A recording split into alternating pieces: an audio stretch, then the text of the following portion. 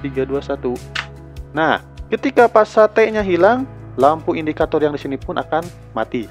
Menandakan fasa T hilang tegangan. Dan otomatis akan mematikan rangkaian kontrol ini.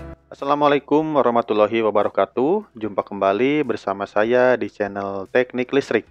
Di video kali ini saya akan membahas tentang cara merakit rangkaian proteksi tegangan tiga fasa. Maksudnya apa? Jadi di sini sudah ada rangkaian untuk mengamankan motor tiga fasa ini.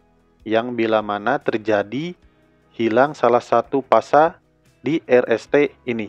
Nah, contohnya ketika kita sedang menjalankan motor listrik ini, tiba-tiba fasa R atau fasa S atau fasa T-nya salah satu ada yang hilang. Maka nanti si rangkaian ini akan memproteksi dan mengamankan motor ini. Caranya gimana? Simak baik-baik. Jadi saya contohkan aja ya.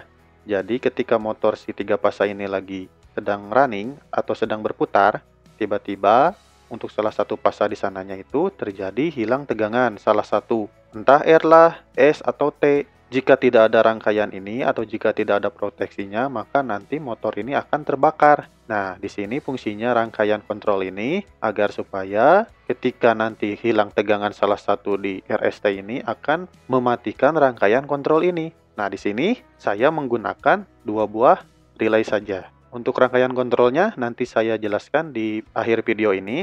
Nah, jadi sekarang saya akan mempraktikkan dulu untuk rangkaian kontrol ini dan cara kerjanya kayak gimana. Oke? Nah, yang pertama itu kita akan ngambil tegangan sumber tiga fasa dari MCB ini. Ini R, ini S, dan ini T.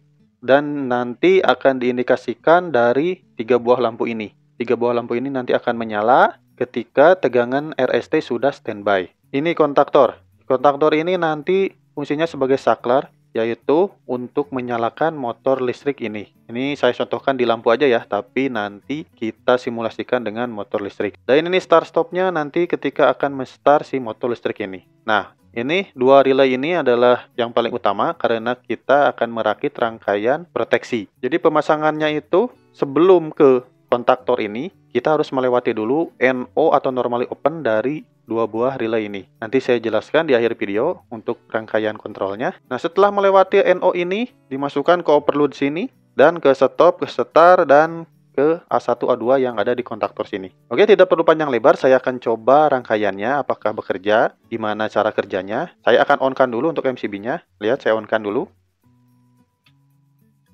Nah, lihat. Ketika MCB di-on-kan, maka untuk tegangan tiga pasanya sudah ready atau sudah standby, yang di mana indikasinya dari pilot lamp ini, 1, 2, dan 3 atau RST. Nah, ketika RST ini sudah nyala standby, maka si dua relay ini akan langsung bekerja. Kenapa langsung bekerja? Karena untuk mengalirkan yang dari NO tadi masuk ke rangkaian kontrol. Nah, kenapa rangkaian kontrol ini tidak langsung kerja? Karena kita harus menekan pas button dulu. Kita contohkan akan meraningkan salah satu motor tiga pasa yang ada di industri dengan menekan tombol start dari panelnya. Ini. Oke, saya akan coba start ya. 3, 2, 1, saya start. Nah, ketika start, maka motor listrik pun akan bekerja atau berputar. Ketika motor listrik sedang berputar, tiba-tiba tegangan yang dari PLN yang tiga pasa, entah R lah, entah S lah, entah T lah, tiba-tiba ada yang hilang. Maka, apa yang terjadi ketika hilang? Nah, di sini akan memproteksikan di relay ini. Saya akan coba ya saya akan coba hilangkan pasate dulu yang ini nih. Pasate saya hilangkan, maka lihat untuk motor listriknya apa yang terjadi. Lihat. 3, 2, 1. Nah, ketika pasate-nya hilang, lampu indikator yang di sini pun akan mati. Menandakan pasate hilang tegangan. Dan otomatis akan mematikan rangkaian kontrol ini. Ketika rangkaian kontrol ini mati, sehingga kontaktor ini akan mati. Ketika kontaktor mati, maka motor listrik pun akan mati juga, berhenti berputar karena tidak ada tegangan tiga fasa yang ngalir ke motor listrik tersebut. Nah, kenapa rangkaian kontrol ini bisa mati? Karena tadi untuk yang relay ini dihubungkan DNO. Ketika fasa T-nya hilang, otomatis relay yang ini mati sehingga memutuskan arus atau tegangan yang dari salah satu R atau S ini masuk ke sini ditahan di sini sehingga mematikan rangkaian kontrol ini. Nah, nanti saya jelaskan lagi di rangkaian kontrolnya agar paham. Di sini hanya simulasi dulu. Oke, sekarang saya akan on-kan lagi untuk T-nya. Nah, tegangan tiga fasa udah kembali lagi, udah standby lagi dan udah ready. Kita akan start lagi motornya. Nah, sekarang saya akan mematikan tegangan atau hilangkan fasa yang R atau yang S, yang S dulu aja lah. Yang S, lihat, saya akan hilangkan fasa yang S. Lihat rangkaian kontrol ini, lihat, 3, 2, 1.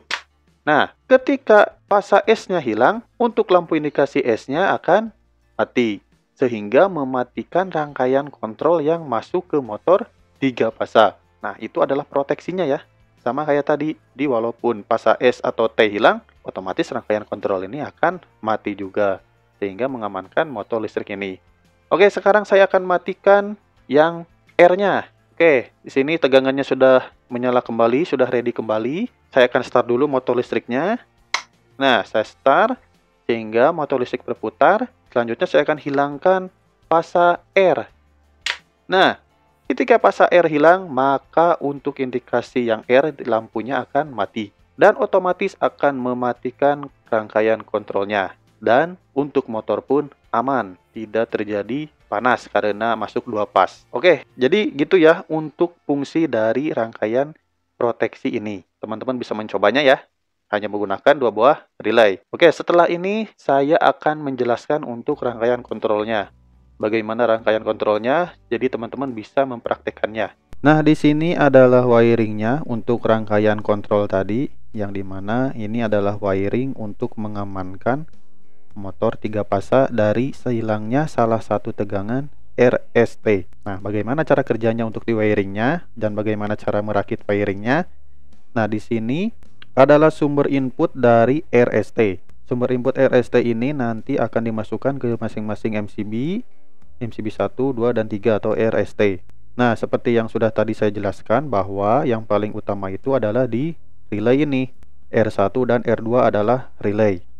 Tipenya MK2P merek Omron. Itu yang paling bagus biasanya. Oke, untuk cara pasang wiringnya gimana? Lihat, saya pasangkan dari pasa R fasa R ini bisa diperhatikan teman-teman ini adalah MCB dimasukkan langsung ke NO yang R1 yang nomor 1 dan 3 kalau di soketnya.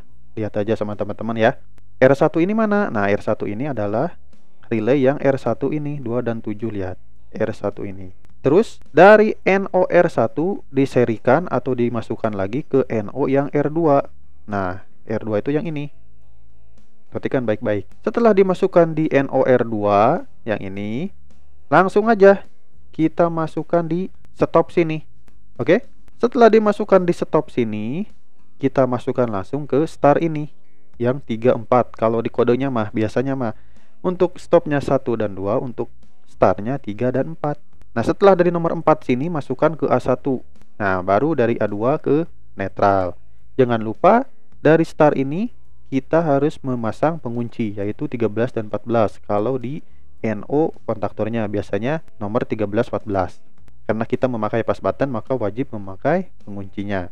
Dan dari S ini pasa S masukkan aja langsung ke relay nomor 2 yaitu ke coilnya yang relay.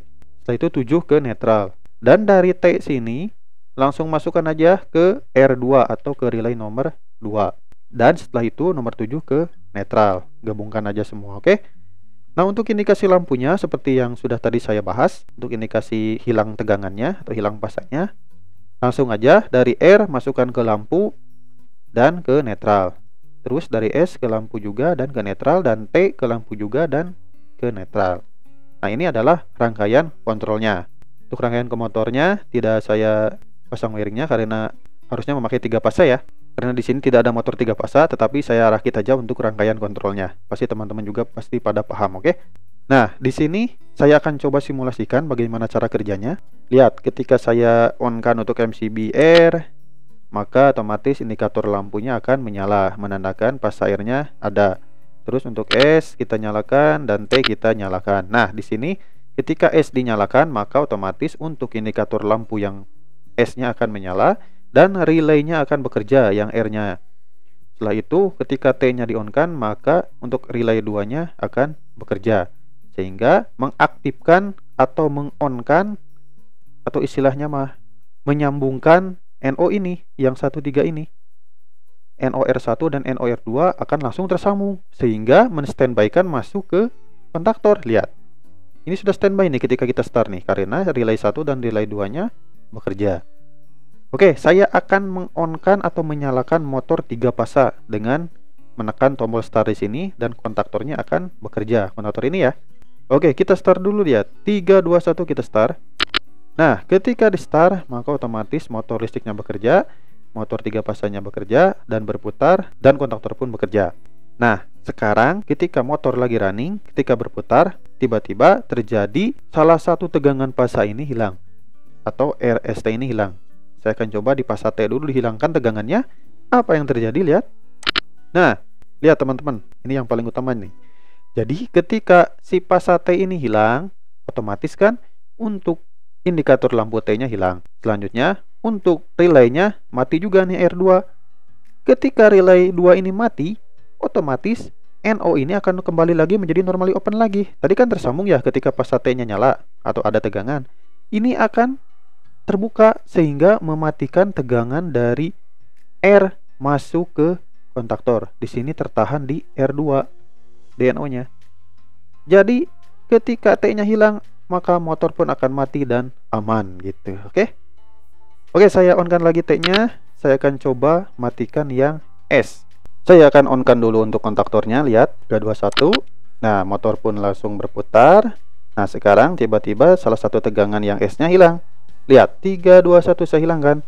Nah otomatis untuk kontaktornya akan mati kenapa kontaktornya mati atau rangkaian kontrolnya mati karena untuk relaynya ini mati Ketika relay ini mati, maka otomatis si R1 ini yang NO kembali lagi menjadi normally open. Ketika normally open kembali, maka yang pasa dari R ini tertahan di R1 ini sehingga tidak mengalirkan tegangan ke rangkaian kontrol K1 ini. Oke, dilanjut lagi. Kita onkan dulu S-nya. Kita akan mematikan pasa R. Kita onkan dulu untuk kontaktornya. Kita jalankan dulu motornya. Nah, ketika motor berjalan, tiba-tiba pasa R-nya hilang. Ketika pas air hilang, maka yang terjadi? Nah, ketika hilang, maka indikator lampunya akan hilang juga dan otomatis si kontaktornya akan mati. Kenapa mati? Karena ya kan untuk rangkaian kontrol ke kontaktor kita menggunakan pasa air. Jadi walaupun relay ini kerja dua-duanya tetap tersambung, tetap aja karena hilang tegangan di pasa airnya. Oke, jadi itu untuk rangkaian kontrolnya dan wiringnya. Mudah-mudahan teman-teman paham dengan pewiringan kayak gini. Mudah-mudahan bermanfaat. Jika ada yang belum paham, silahkan komentar di bawah. Terima kasih. Wassalamualaikum warahmatullahi wabarakatuh.